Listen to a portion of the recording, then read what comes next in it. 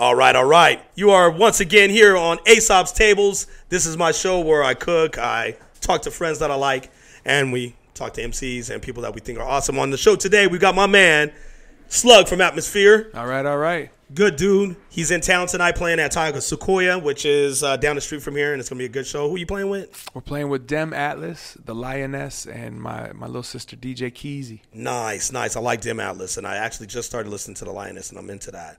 But now you're talking about your little sister. Is that actually family or just the homegirl? I mean, she's the homie, you know, Uh-huh. but she's the little sister. Word, word. That's what's up. Of course, the show is sponsored by Organic Alternatives. My boys at Fresh Yard, Tioga Sequoia, who, who always gives me great beer, and whoever else that wants to hook up and sponsor us, you know how to contact us. Today, we're going to ask Slug some questions about some of the things that I've seen him do in the past. And one of the first things I want to ask is, what was it like when you first started making music, as far as like when you first came up? I mean, when I was, uh, I, started making music in high school, and it was just, it was just a, a way to to, uh, to appease the gods of hip hop. Like I didn't really think there was anything there. You know what I'm saying? Like I was doing it because as a kid, you felt like you were supposed to make that step to be more than just a listener, but to, and more than just an advocate, but but you had to be a participant. So I, I was a you know I, I wrote graffiti. I, I was on the cardboard spinning around on my face. I was trying to DJ. I was trying to rap. I tried to be a you know a part of, of the whole the whole movement when it hit my city. Right, right. You know, and uh, I think a lot of the stuff too that I always thought about, especially when you guys first started coming out, is that when we started, we didn't really think about. I mean, there was the industry that was happening, but there was no chance we was gonna get signed. Exactly. The you know the signing process was uh, very Hollywood based, and uh, you had to know somebody. And even if you knew somebody, cats weren't really putting each other on. As, as I don't know if they do that now, but it definitely didn't feel like we was gonna go anywhere besides what we were doing. I mean, you can imagine living in Minneapolis where there was no industry for hip hop. Uh, the idea of making a demo tape and mailing it randomly to record labels, that was, I was not going to do that. You know what Yeah. I'm saying? Like, I, because it just seemed fruitless. And so Yeah. I never had, I never had aspirations of making a career out of this. Right. Like, I, I had aspirations to drive a truck. Right, right. and I was gonna rap on the side because I like to battle. Yeah, you know. yeah, and, yeah, and, yeah. And, and, and as a younger kid, I just liked being a part of all of it. But as I got older, I liked to battle because I liked the competitiveness. I liked the attention that I got from it. I liked making people laugh. Right, right. Yeah, because you know, um, you know, and I, I, I feel like as we're getting older, you know, you've uh, you've been coining the idea of uh, dad rap. You know, we come from an era of uh, you know the people that were in our age group are now in their forties and stuff now, and um, I don't know. I don't want to say that kids aren't doing what we were doing back then, but battle rapping used to be so important to me back then. And when I first met you, uh, there was a big thing about freestyling together, and a lot of the shows that were going on was a lot of beatboxing, and of course, uh, Mikey, God rest his soul, Eyedea, um, one of the best battles in the world. That part of it for us being from Cali is what we were attracted to with y'all because you know we were all coming around, coming together at the same time. Sure. And um, your ferocity on the mic was crazy, man, because you were kind of you were a funny guy, but you were like a mean asshole kind of funny guy. You know what I'm saying? Like you said, you had really good one-liners that were like, you know, you could never tell if it was written or if you would come off the head or. I was always just trying to think of what to say to make people laugh. Uh-huh. And even even the mean asshole part of it, you know, I own it. I was that. Yeah. But it was it was it was uh, identity. It was an act. Right, You know what I'm saying? Like and and, and I'm, I'm I can admit that I, I have that humility. Like it was an act. I was just I, I wanted that persona to be what people remembered. I mean, know? nothing wrong with that because I, mean- think that was I think that's what was dope about it because you had moxie. You know what I mean? I mean, deep down, I was insecure as hell. Oh, no shit. You know what I'm saying? Like, Uh-huh. because I'm, you know, I'm from Minneapolis. I'm like, well, these people aren't gonna care about me. They're not gonna remember me. They don't want to hear Right. a rapper from the from Minnesota. Right, right, You know what I'm saying? And so, so I feel like that insecurity actually sparked me to go even harder and meaner and try to be funnier. Right, You know what I right, mean? right. Like, I- I, I feel like, and so when I say insecure, I just mean it was an insecurity of like, uh, are these people gonna care? Right, right. You know? And I think they did, man. I mean, obviously, you know, you have your career now, and um, I think there's a lot of uh, old school cats that followed your your career from the get go that are still there. That you know, I've been to some of your shows, and there's somebody there with their kid, it's kid, and you know, the, you know, there's dad with his son, and his son brought his small uh, toddler, and they bring him to the shows because they want them to keep on picking up this energy that you brought into, which started with your first album, Overcast.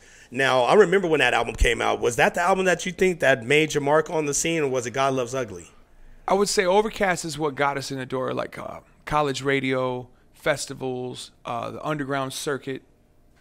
when God Loves Ugly happened, that's what brought us into the light and and and put us under the microscope of people who were not rappers. Right. Like right. Overcast got us t- to be heard by other rappers. Right. You know Yeah. That's why we dug that. Yeah. and and then uh and then I grinded it out. Started touring during the Lucy Ford era. Me and Eyedea got in the van and started just driving around and, and, and battling and and freestyling and just doing anything anywhere that we could.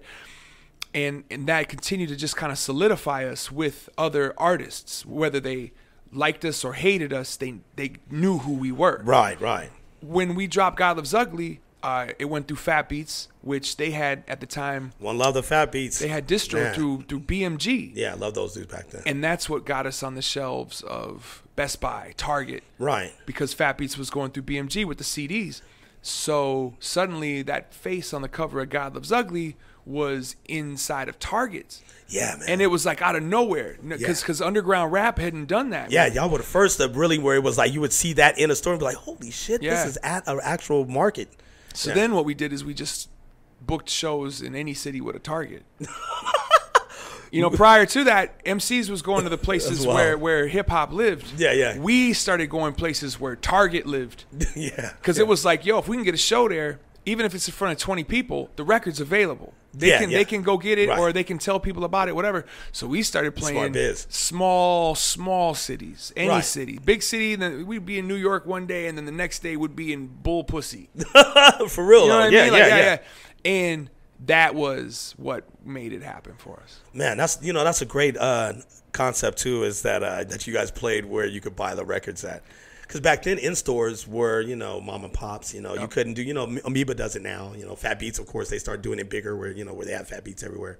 But back then you couldn't even. I remember me and Murs we would go in front of a record store. You know what I'm saying? hang out and talk to people. we were like literally we were notorious for like having a box of CD or back then tapes and then sit in front and be like, "Yo, I know you probably have never known who we are, but you should buy this before you go into the store." And um, you know, now with the internet and everything, things are different. You know, things spread faster, and kids' uh, word of mouth is more strong. And uh, getting into that question, the next question I have for you is, uh, I follow you on on Instagram.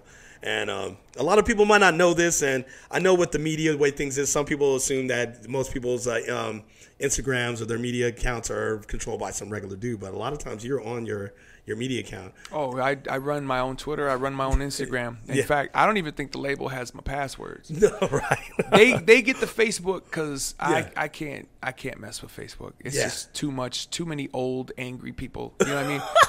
But I mess with the Yeah. Instagram because it's fun. It was it was actually Evidence that got me to start. I I, I wasn't gonna do Instagram. I was Right. like, oh, I was like, if I do, I was on Twitter and I'm like, man, if I do Instagram, I gotta start doing every single social media Yeah. that, that that is boring. And I'm like, nah. And then I remember I was uh, I was with Ev. We were we were we were on tour together, and he was like, "Look at what I'm doing though. I'm taking these photos and I'm playing with them and editing Yeah, it, yeah. and it just looked like such a great way to kill time on the tour bus. Yeah, yeah. So I started doing it, and then one thing led to another, and now I'm like putting my kids on blast. You know, Yeah, man. for likes. What's what is this? You know what I'm saying? Like for likes. Yeah, man. for followers. It's fun though, man. I think you know, for me, uh, I watch. You know, every once I'll catch when you'll say something. And uh, while I was bringing it up, is get a few assholes, man, that like to, you know, they know it's you or they assume it's you, you know, and they, they come and talk. And uh, there was this one thing I forget what it was, man. I wish I had it pulled up right now, but a dude said something really rude or something. I think it was like a political thing. You had said you had made your opinion about something about the world or something. Sure. And this dude had his opinion right back, but then he just blah blah blah blah, and then but you just kept on murdering him with like kindness and like honesty, and like you were like, and the dude was just like kind of melting as it kept on going down, and I thought that was what was dope. What I love about the new media now, because a lot of uh, MCs and uh, you know uh, people that are figures in the world, you can reach out to somebody immediately if they, they speak back to you. Sure. You know that I think the problem is though we only respond to the assholes. Well, somebody the be like, somebody will be like, you saved my life, and your music did this for me, and this Oh, and that, yeah. and it's like you don't know how to respond to that because you don't know how to take a compliment. And You're like, oh, okay. I mean, Yeah. do I just say thanks? You know what I'm saying? Yeah, yeah. Whereas if somebody comes out at you like "fuck you," I think you suck. da, da, da, It's a lot easier to look at them and be like, "Eat, eat my shit, dude." Yeah, yeah, fuck you. And then the other the other people are like, "Why do you only respond to the trolls?" And it's Right. like, I don't know. I think that's why they exist. I- You know, I don't know. So I try not to even respond to the trolls unless Right. unless I can make them part of the show. Like Right. if I can take your trolling and turn it into and turn it into my. Yeah, yeah. Whoa! Did I break something? Yeah, that was a troll. That was a troll that was on the roof. He, I- he just jumped in real quick. You know, if I get if I get, it's the same at shows. If somebody heckles, my immediate reaction is, how do I take this and turn it into the show? You know what I mean? Right, right, right. It's it's the same. You know, it's it, it, it, it's the same way of dealing with social media. You know, at the end of the day, like truth be told, man, I wish I was a stand-up comedian. I I think you would be good at that. I would, I, you know, I've I, thought about it. I love rapping, but I feel like something about stand-up comedy has this ability to really shine light on the the dark parts of humanity Yes. as well as the beautiful parts of humanity in a way that even music doesn't necessarily get to. Music is expected to do this incredible work, Wow, getting into something right here. whereas with comedy. People don't expect as much out of it, so it gets to like it, it gets to subversively actually do the real work. You know Yeah, what I'm yeah, saying? And yeah. so, so part of me just really, you know, wishes I could be a stand-up comedian. I think you could know? do it, man. I've seen you, you know, because you know you're, a, you know, you of course you're atmosphere as a group. It's you and Ant, and you know everybody else you bring with you on stage. But a lot of times you have the mic by yourself, I do. and it's something that, and it's funny because I'm in an eight man group, and so um, each one of us always wants to have the mic, and then we always have, the, have our moment to talk. And I'm a talkative motherfucker, so I always want to say something because I'm a funny motherfucker, and I think I want to say something funny to the crowd because I've always found that you open a crowd up Yep. by expressing yourself to them, and it's like a barbecue. You know, you go, "Hey, everybody, enjoy some food," and blah blah blah, and drink up, and it goes, "Yeah," and then you own them. They, they everybody's together, you know. And um, I've watched you on stage, and you have this, you have a commanding power where you do some funny shit on stage a lot, man. Well, you know, people uh people have always accused me of working through my can I can I curse? Yes, okay. course. People always Fucking accuse curse. me of working Jesus through my shit Christ. on stage or, or in my music. They're like, you know, you you, you, you write this as a like a cathartic way to deal with the stuff in your head and whatever, whatever. And I'm like, that's real, but I feel like in in comedy, that's that's where like I feel like most comedians are, are definitely suffering from depression. Oh, no, they Or, are. you know what I mean? Like they're, Yeah. de- they're definitely dealing with a lot of darkness and, and Yeah, manic depressive is part of being a comedian. That's the real way to work. That's the real way to work through that Is is to make light of it. Is to provoke dialogue. Is Right. to offend people and or put your wing around people and let them know that they're not alone with how they feel. Yeah. You know, with music it's different because we have to be cool. Yes, yeah, yeah. We, we have to be cool. Right. We have to. People look at us and they're like, "Oh, I want to be like him." In comedy, nobody has to be cool. Right, in comedy, you're always, you know, of course, you can listen to a recording of, of a comedy set and you can watch a comedy set on TV, but a lot of time you go and watch them live and heckle and laugh, and you know the guy feeds off all that energy. Music, we make it, and our ghost lays onto a song, and then someone goes home and then be, makes us that person in their mind, Yeah. and we stay that person. You know, through the duration of their their entirety with us until they see us at a show, and they're like, "Hey, why aren't you being like the guy I know on the song?" It's like, "Motherfucker, I just got done performing. I'm an asshole right now, or I'm tired right I, now." I or- got to take a shit. yeah, yeah. or there's this girl over there that I'm trying to talk to. Sorry, guy, you know. And um, people don't get the difference in that. But I've been around, and someone I want to bring up is Louis C.K. I got to meet him once, and it was because a, a friend of mine. I don't want to name him because he's an idiot for doing this to me, but we're at this place called Max Fish's in New York, I know that bar. and it's a cool spot. You know, some famous people come in, normal people. It's a dive bar. You know, it's a really fun spot. I'm sitting at the um, uh, Louis C.K. sitting at the bar. I don't recognize him at first. And everybody goes, "Hey, man, you got to meet this guy, man." We just had played SOBs. He's like, "You got to meet him, man." You know, he's trying to do be that guy. Introduce me to everybody. I'm like, all right, cool, man. Come up to him. He goes, "Hey, Louis, man, this is Aesop, man, from Living Legends. They just played uh, SOBs." And then he and he goes, "Hey," and then the guy walks away. And then I'm like, I'm like, and then he's like, "Hey," and he's like, "Hey," and I'm like, "You motherfucker!" In both of our heads, we're like, you know, he just did this to us, and we have to stay and talk to us. And he literally was like, "He's like that guy's an asshole for that, huh?" And I was like, "Yeah." He's a fucking dick for that. But Louis C.K. his energy at that time, you know, this is a, he was famous at that time. He was hunched over and he looked like he didn't want to be talked to, and he was probably just had just did some comedy and maybe bombed or whatever. And I could tell when I looked, I was like, "Damn, man, it's fucking crazy that this guy who I revere, I you know, and I just got done performing, and I hold him up some more so high, but he was right where I was in my head as well. You know what I mean? Sure, sure. He was in his own mind, he was all in his own world and shit. So I think you would be a great comedian, man. I appreciate that. I, you know, who knows? I, once once I get fired from this job, got my foot in the door. Let's see what else. Can you get fired from your own career? Oh hell yeah, hell yeah, yeah. Do do drugs. Um, uh, Hey, kill any- somebody. Anything can be ruined. Yeah, yeah, yeah, yeah. Nothing's forever. We were just talking about that earlier. Somebody asked me a while back. He was like, "Hey man, you haven't put any music out in a while." So, well, I cook now, man. I just, you know, I'm, I have music I make, you know, but I like making food. And he's like, "You know, that's uh, that's cool, man." I was like, "Well, look, motherfucker, I can open four restaurants, and that shit'll be here when I'm there or not."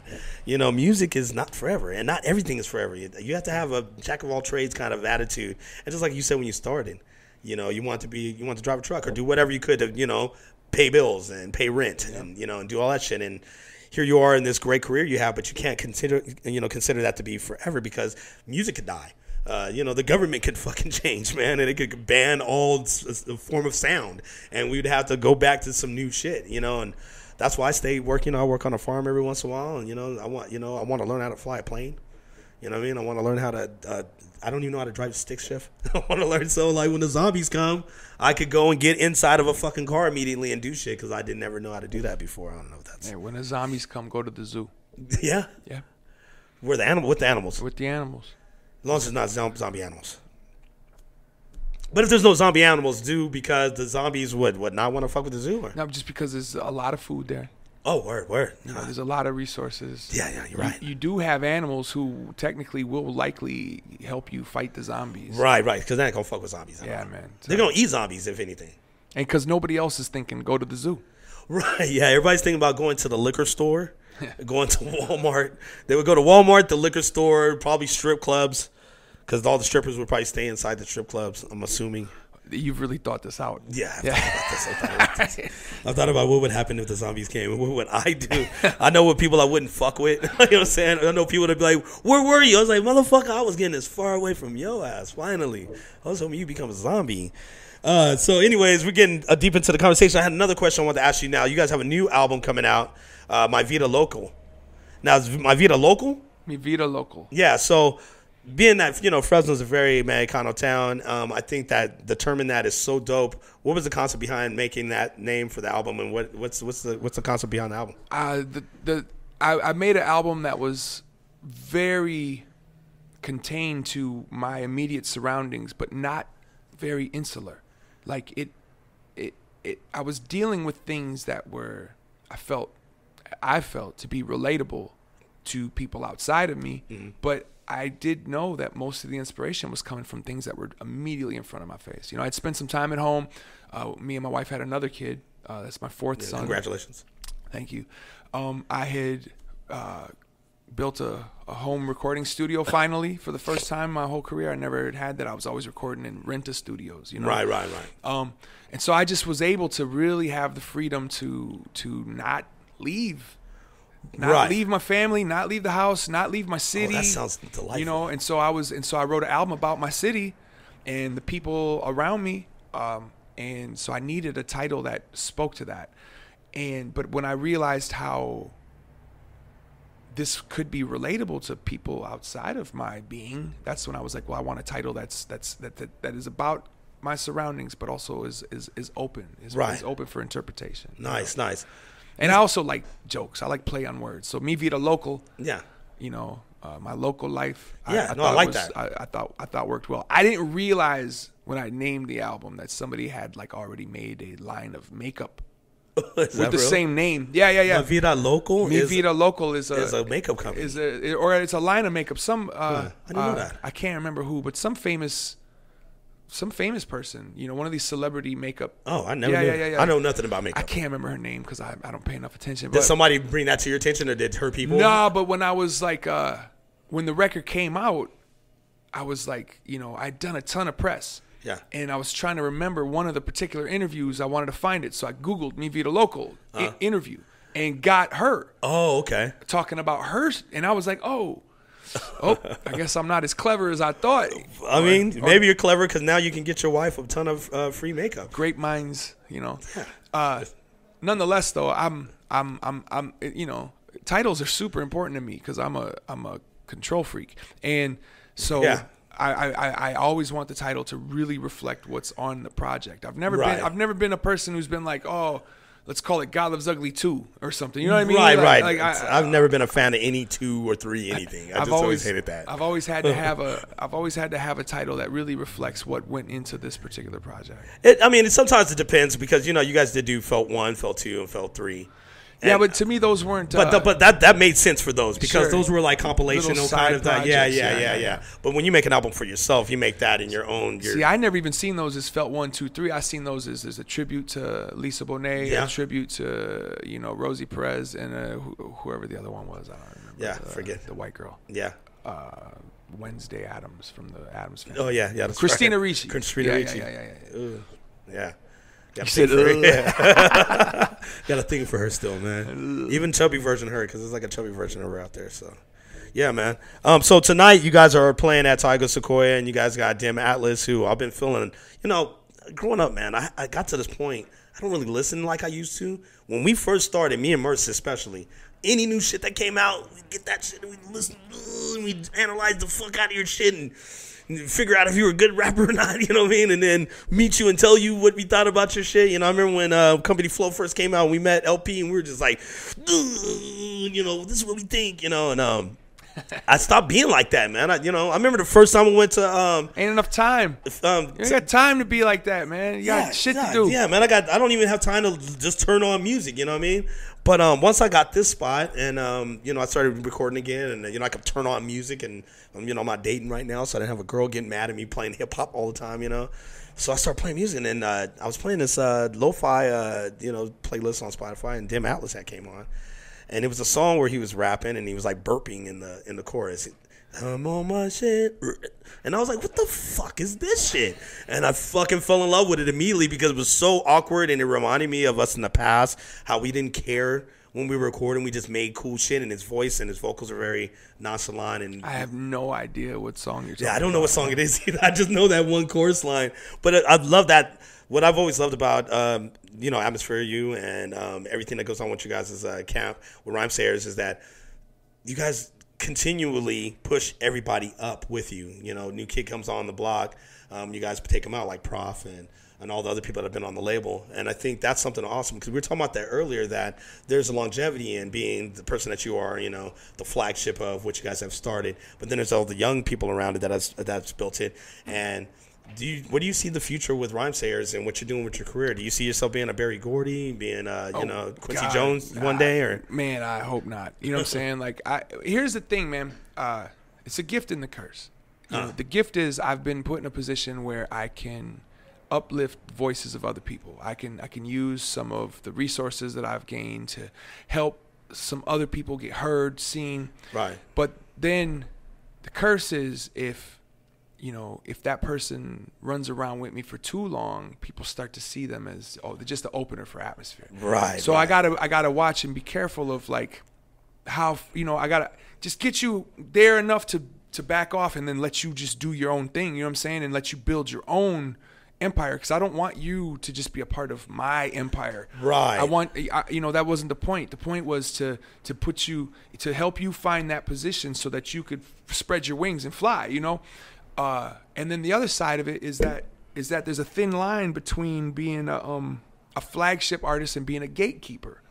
Right, And right. I, I don't want to be a gatekeeper. You know, it's not like it's not like I, I'm pointing at you going, well, I'm going to give you a career. I'm going to give you a career. What about the five people that I don't point at? Oh, not giving you one. Not, you know what I mean? right, That's right. not who I wanted to be either. You know what I mean? And so, so you teaching cats how to how to fish. I'm trying to. I'm You're not trying handing to- out fish. Yeah, man. I'm, I, and, and so, I I don't want to be that forever. You know Right, saying? right, right. I want I want you to be bigger than me. yeah, yeah. I want you to blow up. I want you know what Yeah. I'm saying. Like like if atmosphere is the biggest thing that we got, then we're not we weren't we weren't doing it right. You know. I feel you wanna on that. Yes, a, yes. a true leader eventually replaces themselves. Right, right. You you you teach the next one to come and replace Yeah, you. Yeah, when there's when you can't when you you're over rapping when you do your your your your uh, your your swan song, you say, "Hey, this is the last one." I There's mean- somebody else that comes up at top, and then, then that becomes the standard again. I don't know if I'll ever be able to quit. Yeah, yeah. But I do know that I aspire to help develop somebody into the next bigger thing. You know right, right. Like I love that, man. because because otherwise what Otherwise, this is all just a big game for my ego. You know what I'm saying? I mean, that yeah. does exist, though. You know, you know, especially from a camp that you're from, and you know, a camp we're from. We're very close knit families. You know, most of all the people that we work with, especially in our group, we all know each other and we grew up around each other. Um, it's a trip to think about some people that were shotgun marriages or just went straight into a label solo, and then got in a group with people that were solo, and then the label said, "Oh, this would be fucking amazing if you all."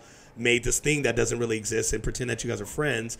And then, i.e., NWA, which wasn't always originally like that, but the way that happens with money and certain parts of that uh, that dynamic, and it's a trip because then there's always one person that goes, "Oh, I'm, I'm the motherfucker."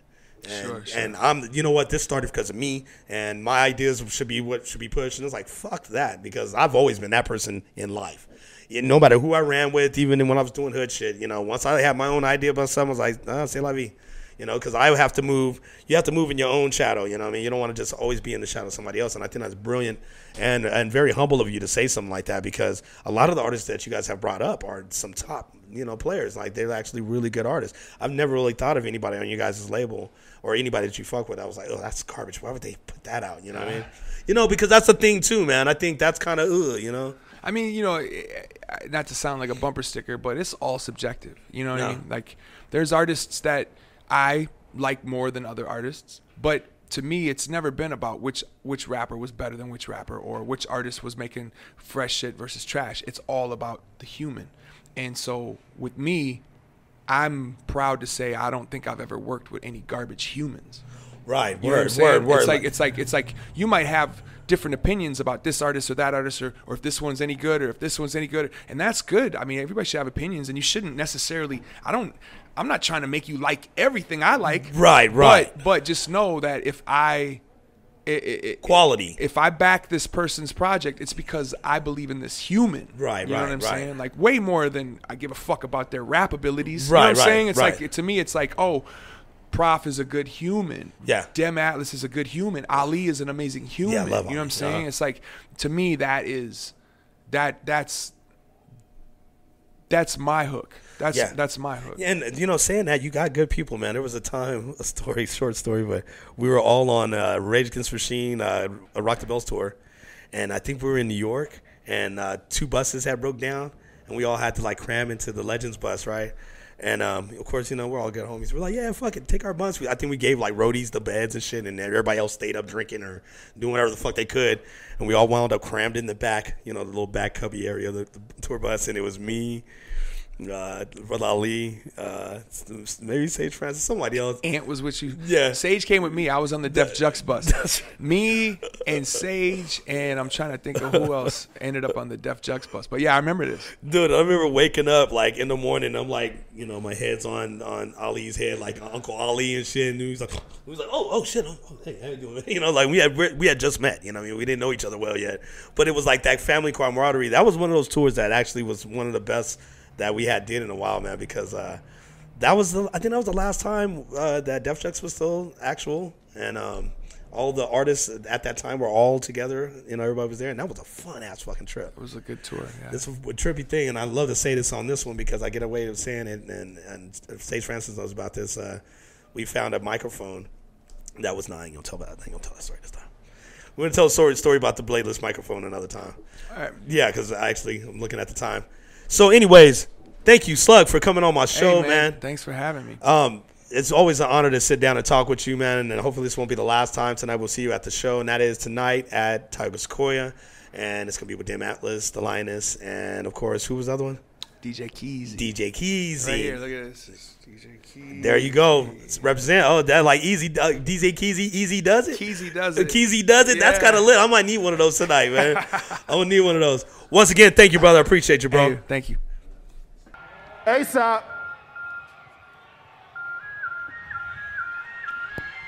Sure, we moving at the speed of light. Illuminate the path that we're moving on. Jubilate, now let's tell our mouths wanna make the people bounce when the music gets around. Yes, sure, we moving at the speed of light. Illuminate the path that we're moving on. Jubilate, now let's tell our mouths wanna make the people bounce. That's me, riding in the back of a taxi. Gotta go home where I can't sleep. Kill a telephone, be alone at the home cause it has to be.